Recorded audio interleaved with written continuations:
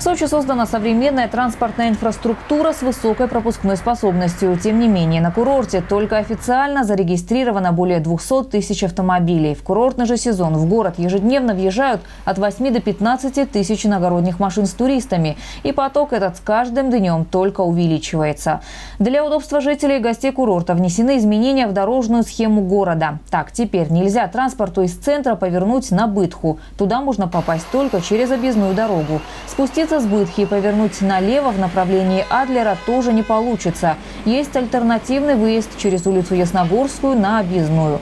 Для общественного транспорта схема движения прежняя. Также здесь заработает светофор. Он сдержит транспорт с Бытхи, при этом максимально пропуская поток по федеральной дороге.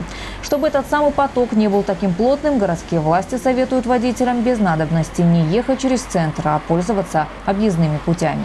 Мне бы хотелось ну, подчеркнуть, что в нашем городе есть э, и дублер курортного проспекта. Замечательная дорога, она всегда свободна, она скоростная достаточно. Там никогда не бывает пробок. Хочется посоветовать всем нашим жителям как можно активнее и лучше пользоваться, например, дублером курортного, с которого можно попасть и на Бытху, и съехать э, на Мацесту, попасть на там, 20-ю горно-стрелковую дивизию, выехать в центре города. Изменения и у курортного городка. В районе заправки у пансионата «Известия» запрещен разворот грузового транспорта длиной более 6,5 метров, который движется из Сочи и поворачивает в сторону Кудепсты.